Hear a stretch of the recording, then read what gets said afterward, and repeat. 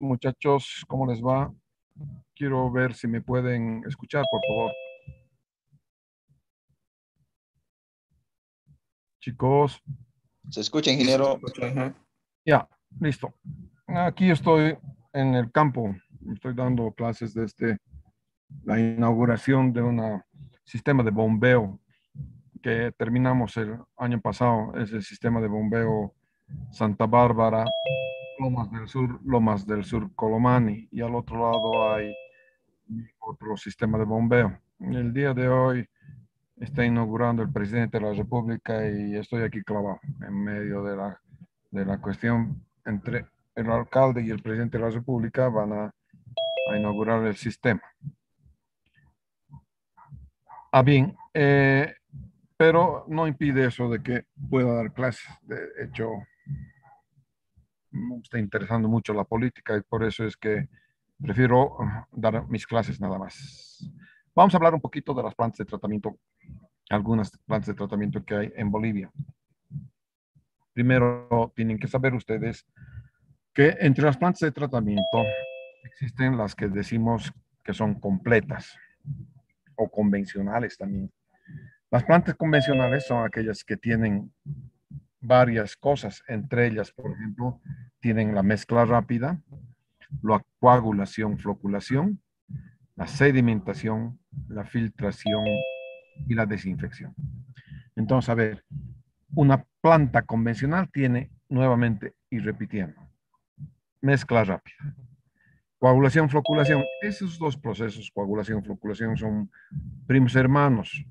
En la coagulación toma segundos, por eso viene seguido de la floculación. De hecho, uno se llama mezcla rápida y el otro se llama mezcla lenta. Luego tienes la sedimentación de las partículas, que muchas plantas de tratamiento tienen sedimentadores. Y luego tienes la filtración, que la filtración puede ser de dos tipos básicamente, en grande. Son o filtración lenta o filtración rápida. Entonces son esos dos tipos de filtración que se tiene en grande, en general. Hay más, obviamente, dependiendo de la fuerza impulsora, dependiendo del leche filtrante, dependiendo de muchas cosas. Eso lo vamos a ver a su debido tiempo cuando estemos avanzando la lección de filtros. Bien, en este caso entonces, en este en las plantas de tratamiento, además de la filtración, vamos a tener un último proceso químico, que es el de la desinfección. Entonces, una planta convencional tiene esas cosas, cinco cosas.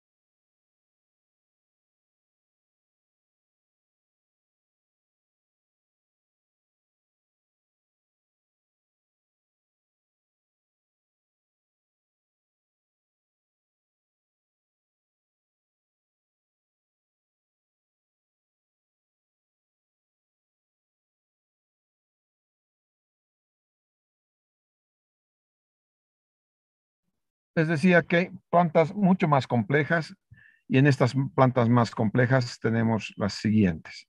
Tenemos, por ejemplo, la planta de achachicala, que es una de las plantas más antiguas que hay en Bolivia. Esa planta recibe aguas de Milluni, ¿ya? Entonces, parte de las aguas de Milluni. Entonces, tienen unos sensores, sensores en línea, ¿no para el control de calidad y registro, por ejemplo, de la cantidad de agua cruda, el pH, la turbidez, en fin, todo la conductividad. Y entonces tienes caudalímetros. Obviamente vas a tener caudalímetros que te pida, que te midan cuánto de agua están entrando a la planta de tratamiento. Una de las cosas fundamentales en diseño de plantas de tratamiento es definir o saber definir muy bien cuánto caudal está entrando en la planta de tratamiento, porque de acuerdo al caudal que entra a la planta de tratamiento, van a tener entonces ustedes la cantidad de químicos que le van a echar. No solamente de acuerdo a la cantidad, sino también de acuerdo a, la calidad. Entonces, por ejemplo, en este caso, esta planta de tratamiento tiene unos canales de entrada de Milluni y el choqueyapu, ya no hay más el choqueyapu, ya han, han, desechado esta parte del choqueyapu y el caudal es mil litros por segundo. Entonces viene a, una, a un presedimentador de 17 mil metros cúbicos, donde se sedimentan las partículas más gruesas. Del sedimentador van a pasar a un disipador de energía, que reduce obviamente la energía con la cual entra el agua, porque está viniendo del cerro, de, está viniendo del alto, y la planta se aloja en, en la parte baja, casi por la cervecería está la planta de Achachicala. Uno cuando llega a La Paz y baja por la autopista puede ver la planta de Achachicala.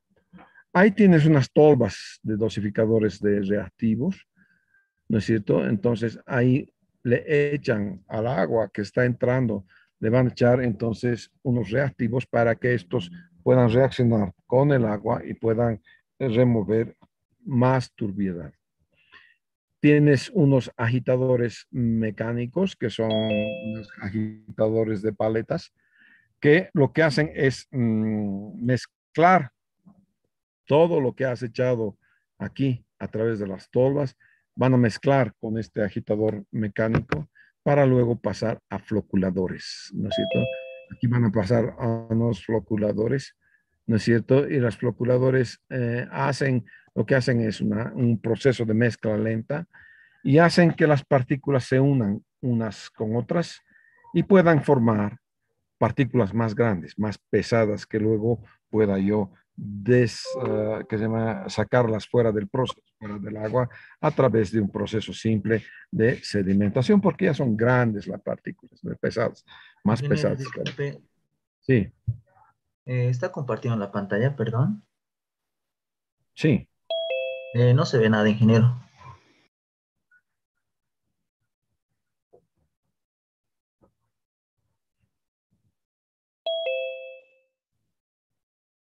¿Ahora sí?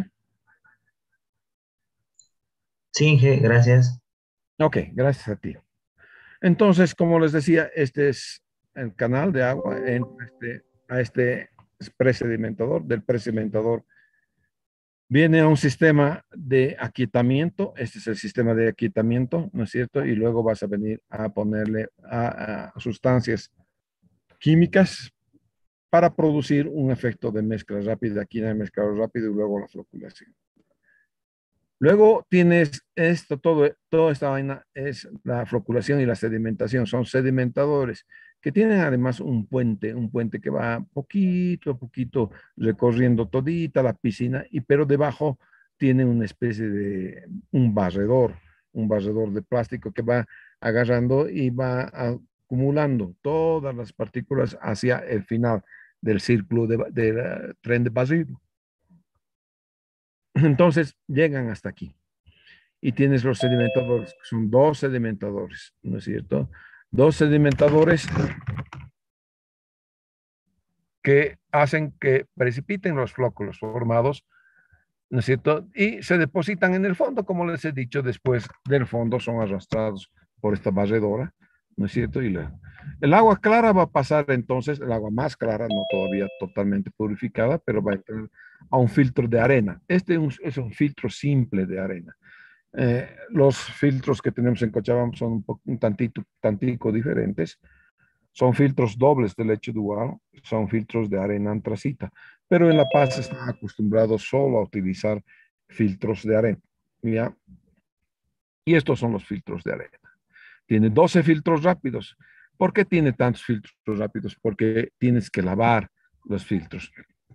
Una vez que se han usado los filtros, entonces entran en un proceso de lavado, de retrolavado. ¿De acuerdo? Con una vez que están en el proceso de retrolavado, todo lo que se ha sentado aquí en estas arenas es empujado hacia afuera, de lo que es empujado hacia afuera es depositado en unos canales de lavado y extraídos fuera del filtro.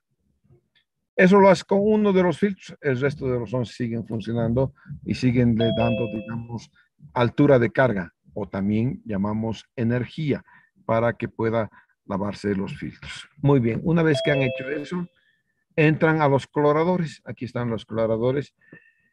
Eh, en Achachicala se tiene clorogas. Necesito entonces, son cilindros de cloro de una tonelada, creo que son, sí, son de una tonelada de peso. ¿No es cierto? Son un par de cilindros que funcionan uno a la vez. ¿No es cierto? Cuando uno se agota, una válvula pasa al otro cilindro de gas y el cilindro vacío es extraído del puente para poder ser reemplazado por un cilindro nuevo. Comprenderán que al ser cilindros de una tonelada de peso necesitan obviamente eh, una ayuda y esa ayuda necesariamente es a través de un puente grúa. Nadie puede simplemente a mano, digamos, mm, levantar los cilindros de cloro porque son muy pesados, ¿no es cierto? Muy bien. Una vez que han entrado, han recibido la parte de cloro, vienen a un tanque que nosotros llamamos un tanque mm, de almacenamiento, pero en la planta de tratamiento se llama tanque de contacto. ¿Por qué se llama tanque de contacto? Porque eh, procura el contacto del cloro con la materia que tiene el agua, ¿no? Eh, el agua tiene H2O, ¿no es cierto? Y luego tienes al área al cloro, quieres que se junten los dos y quieres que el cloro gas actúe sobre las bacterias. Para eso entonces tienes que tener un tiempo mínimo de residencia. Ya después vamos a ver qué son los tiempos de residencia de al menos dos horas para que actúe el cloro. Una vez que has aquietado las aguas por dos horas, supuestamente el cloro ha funcionado y ha matado todas las bacterias. Y luego del tanque de contacto va directamente a, los, la, red de distribución. ¿De acuerdo? Entonces, ese es más o menos el proceso que se tiene en, este, en esta planta de Chicago. Una otra planta son de pozos. Esta también está en La Paz. Es una planta meramente de pozos, de agua de pozo, ¿no es cierto? Aquí tienes el campo de pozos de Tilata. Y obviamente, cuando estás trayendo agua de pozo, se supone que esta es más limpia que el agua superficial, a menos que haya contaminación en el acuífero.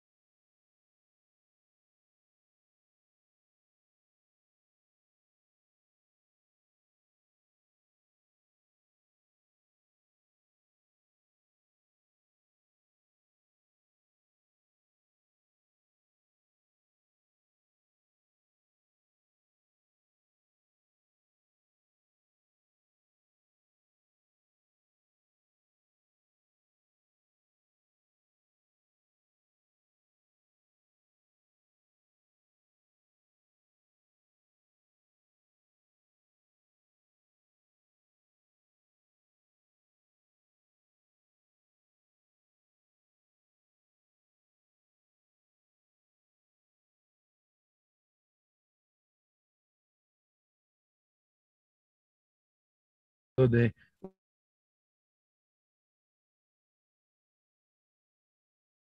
una aducción que en mi parte, la 2 2 al principio. ¿De acuerdo? Entonces, esta agua viene de Cotiacota, sube y se hace, la aquietamos, es una torre de aquietamiento. Esta aquí no necesitamos que el agua entre con turbulencia a la planta de tratamiento. Lo que la necesitamos es más bien que el agua entre con cierta... Ah, nosotros podamos manejar cómo eh, va a entrar y cómo va a discurrir el agua en una planta de tratamiento, ¿no es cierto? Entonces, esta es la línea principal, viene a aereadores. Claro, tienes como 30 kilómetros de tubería. En esos 30 kilómetros de tubería, el agua tiende a perder oxígeno. ¿No es cierto? El oxígeno que es aproximadamente 2 a 3% por volumen y está siempre presente en el agua, se desprende por el rozamiento y van formando burbujas de aire, ¿no es cierto? Entonces tienes que tener mucho cuidado cuando estás calculando la aducción. Aquí yo he recalculado la aducción para tener ese cuidado que dicen la literatura, las experiencias en otros lados. Entonces estamos cuidando eso y vamos a poner válvulas de alivio. En realidad no son válvulas de alivio, son válvulas ventosas. ¿De acuerdo? Como esta planta además viene y pierde oxígeno, entonces, eh, como se desprende el oxígeno, pierde oxígeno. Entonces tenemos que hacer que haya un equilibrio. Este equilibrio lo, lo alcanzamos a través de estas torrecitas, ¿ya? Esas torres con sus bandejas que hacen que el agua entre a las bandejas y reciba una adecuada aireación. De la aireación entra a floculadores y de floculadores a filtro. ¿Qué están notando ustedes? Que aquí no hay sedimentador. Como no hay sedimentador, tú puedes decir entonces que esta es una planta de filtración directa. ¿De acuerdo? Entonces la planta de filtración directa, porque aquí va a recibir directamente cloro. Aquí está el sulfato de aluminio, fíjese, va a entrar por acá, entra la coagulación y luego entra al cloro y nada más, y luego al mm, tanque de almacenamiento, o más bien llamado de contacto. En plantas de tratamiento lo vamos a conocer entonces con el nombre de plantas de contacto. Estas son básicamente los tipos de plantas de tratamiento que hay. Vamos a ver una planta convencional. Esta planta convencional es la planta antigua de Cochabamba. Ahorita se las voy a mostrar.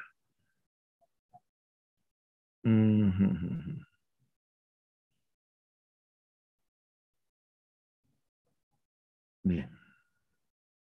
Un segundito, voy a poner en pantalla, por favor.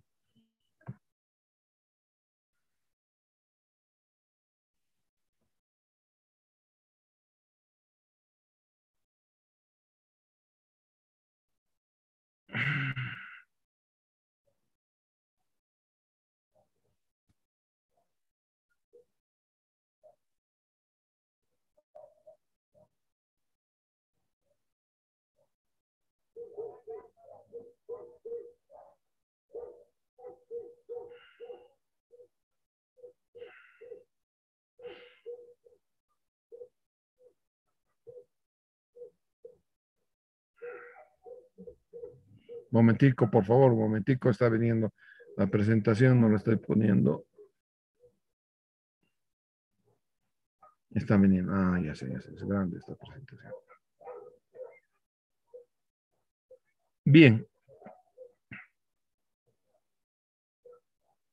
Ah, esta es la planta de Molle Molle. Esta es la planta de Semapa, la planta de Molle Molle.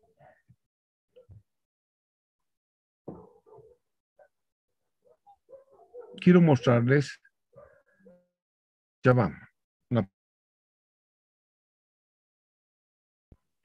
Esta es la planta antigua de Cochabamba en fotografías. Vamos a ver lo que tenemos en fotografías en la planta antigua de Cochabamba para darles una explicación completa. Esta es una planta de tipo convencional.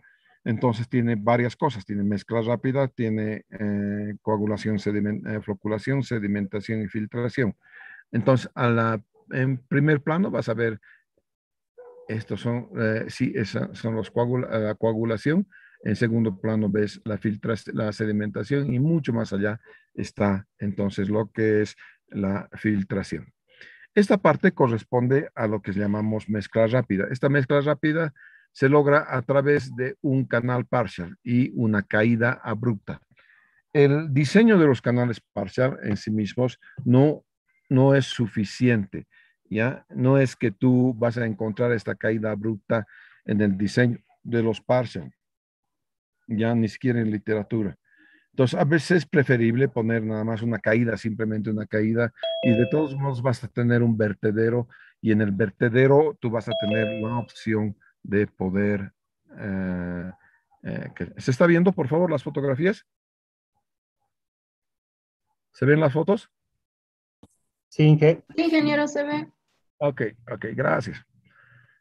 Entonces, aquí está viniendo el agua y esta parte que usted está viendo que está ahogada debería ser la parte donde cae el sulfato de aluminio. Entonces, han hecho que el sulfato de aluminio le caiga por un chorrito acá.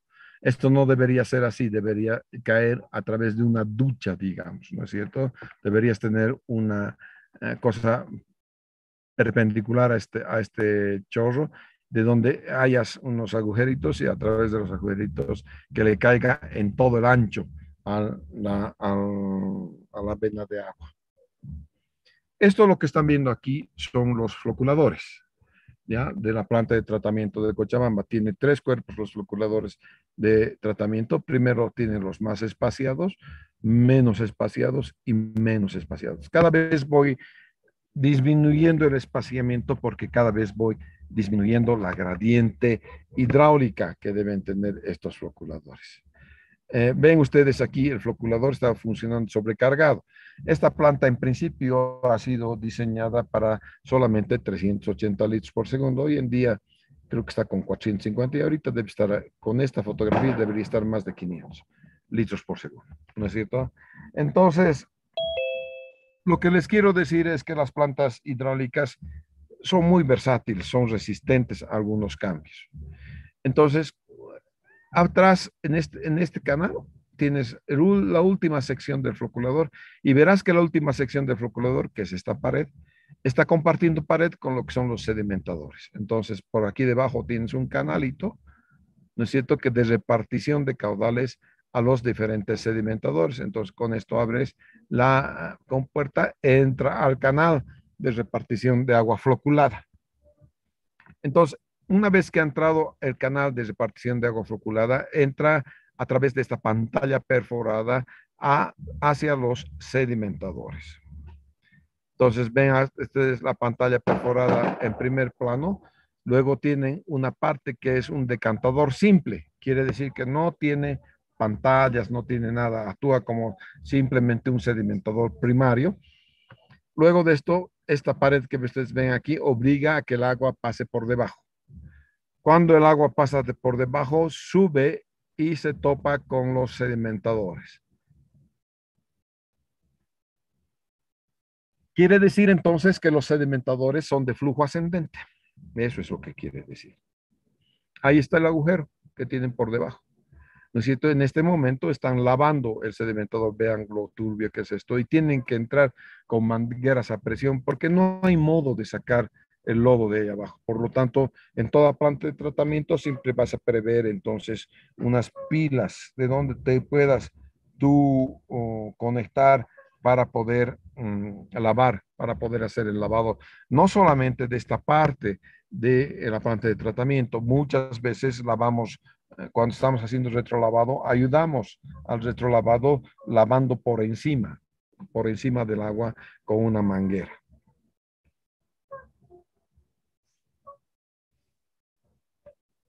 Estos son los sedimentadores. Véanse que tienen un sedimentador y aquí al centro van a tener, eh, está viniendo el agua por debajo y entonces es recogida en el canal de agua sedimentada. Y mire que tiene un montón de vertederitos. Ahí está, miren los vertederitos. Esto es para que todo el agua que está entrando por debajo salga por arriba más o menos a un caudal unitario uniforme. Y este lo requiero así que sea caudal unitario uniforme porque no quiero que se resuspendan los sólidos. Si tú le das demasiada velocidad, tienes menos uh, vertederos, tienes, digamos, uno, dos, tres vertederos, eso va a agarrar, va a generar velocidad, es como si succionaras. Y cuando agarre y genere velocidad, todos los flóculos que tú tienes en la placa o en, que sea placa hexagonal o placa cuadrada, se van a subir, muchacho. ¿No Van a ser entonces autosifonadas. Y en vez de, ser, en vez de hacer un, sedimentador, vas a hacer todo lo contrario. Ahí tiene un close-up del agua ah, sedimentada. Abajo casi no se ve, ¿no es cierto? Está el agua con filtración. Y luego viene a lo que es el canal. Y este canal está conectado hacia los filtros. Aquí tiene un close-up de lo que es los ah, vertederos. Fíjense que son vertederos triangulares, no le estoy viendo la B, eso es porque hemos bajado toda esta planchita. ¿Ya? Eh, es como si la podríamos inclinar también. Eso para que por cada uno de estos vertederitos salga igual cantidad de agua, ¿no es cierto? Entonces, no vienen en, empernados en una sola posición fija, ¿no es cierto? Vienen con, una, con una especie de mariposa y una ranura. Entonces, eso te permite jugar para poder eh, inclinar un poco y permitir de esa manera que por cada uno de los vertederos salga una cantidad controlada de caudal. Ahí está. Este es el medio filtrante que tenemos hoy en día. Son tubos, ¿no es cierto?, o, eh, hexagonales, eh, que son diferentes a los filtros. Yo digo, a, los, a las placas que solíamos tener antes. Antes teníamos placas de cemento, pero hicieron gran escándalo los medioambientalistas y tuvimos que cambiar a este tipo de placas que son placas de orificios, digamos, ¿no es cierto? Con ello, entonces, por debajo no se olviden que entra el agua y aquí en estos tubos se va a retener el agua filtrada. Luego tienen los filtros. Antes eran seis filtros. Cuando se diseñaron para 380 litros por segundo, solamente teníamos seis filtros. Ahora tenemos ocho filtros. Entonces se han ampliado a ocho filtros. Esto debido a la carrera del filtro. Era muy corta la carrera del filtro. La carrera de filtro es cuando un filtro entra en operación, entra en la, eh, eh, sale, opera, eh, entra en retrolavado y vuelve a entrar en operación. Entonces todo eso se llama carrera del filtro. Ahí tienen el filtro 2 lleno, el filtro en bajada, estamos bajando el agua. Necesito, y luego tienes, esta es ah, la parte donde es en, la cuba donde vamos a hacer la disolución del sulfato de aluminio. Ahí está, ahí se hacen las cubos de dilución y este es el filtro en retrolavado. Fíjense, ha entrado en retrolavado y todita la mugre está saliendo para volver a este canal, que es un canal que está en el lado izquierdo de los filtros. Ahí está el filtro. Luego, pasado el filtro, fíjense, aquí tienen un sensor. Este sensor es un sensor de nivel y es un sensor de nivel que da a cada filtro. Cada filtro entonces tiene un cierto nivel y controlamos entonces con ese nivel cuál de los filtros está sucio. Cuando todo esto entra a un cierto nivel, entonces algún filtro tiene que entrar en filtro lavado. Cada filtro entonces se conecta aquí a este canal que lo llamamos canal interconectado. El canal interconectado entonces maneja la calidad de absolutamente todos los filtros. Esta es la salida única que hay de los seis filtros. Aquí le vamos a echar cloro. ¿no es cierto? Para que entre después al tanque de contacto. Este es un equipo de prueba de jarras. Nosotros tenemos un equipo de jarras en el laboratorio del CASA y vamos a hacer eh, muchas pruebas de jarras. Por lo menos eh, vamos a ver un video y vamos a, tratar los datos de las pruebas de jarras. Este es hipoclorito de, hipoclorito de sodio, hipoclorito de calcio que viene en tachos, viene granulado. Este es un pHímetro, un conductivímetro. Este es un nefelómetro porque te mide en NTUs la cantidad de turbidez. Aquí debajo tiene un, un tubo, necesito, tú viertes el agua, tapas y entonces te sale una maravilla que es, ah, y esto es el material de vidrio del laboratorio. Aquí tienen la sala de almacenamiento, el sulfato de aluminio viene en sacos y tú puedes entonces almacenar los aguas arriba. Este es el tanque de contacto y esta es la mezcla de cloro. Este es el eh, hipoclorito de calcio. Ahí está. Bien, señores. Entonces, eh, esas son las capacidades que tenemos en Bolivia. Hay una, planta de tratamiento que es extraordinaria, está en Sucre. Esa es Pulsator, es diferente. ¿ya? El Pulsator es un modo patentado de tratar las aguas. La patente es de la de Gremont de la Francia. Es una especie de respirador. Hace, bota burbujitas, como si fuera un corazón. Y eso hace eh, floculación eh, muy, muy, muy de primera, ¿no es cierto? Pero claro, es, tiene patente y cuando tienes patente tienes que ver quién te lo va a reparar, ¿no es cierto? Entonces, esas son las plantas que hay en Bolivia. Nosotros vamos a diseñar una planta convencional porque la directa es simplemente es quitarle el sedimentador y solamente le vamos a quitar el sedimentador bajo condiciones controladas de la calidad de fuente de agua. ¿Alguna pregunta, muchachos? Eh, buenas tardes, ingeniero Rocha. Eh, disculpe, tengo una pregunta.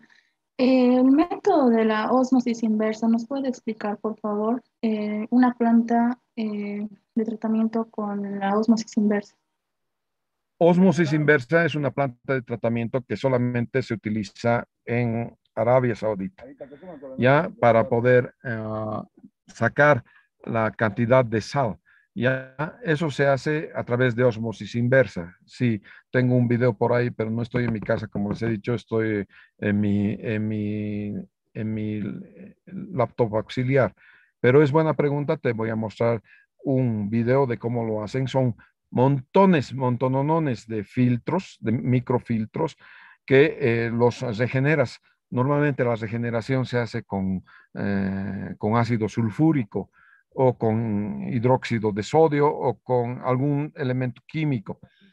Eh, solamente los saudí árabes pueden pagar eso, ¿no es cierto? Es muy caro, pero hay plantas de tratamiento de pequeño porte que tienen osmosis inversa. Alguna vez me han preguntado para riego si puedo hacer eso en tamborada. No, saldría muy cara el agua de riego. ¿Sí? Pero les voy a mostrar. ¿Alguna otra pregunta?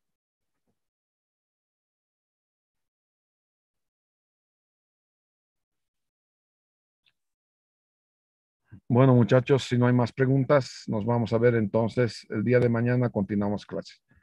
Muchas gracias. Hasta mañana. Hasta mañana, ingeniero.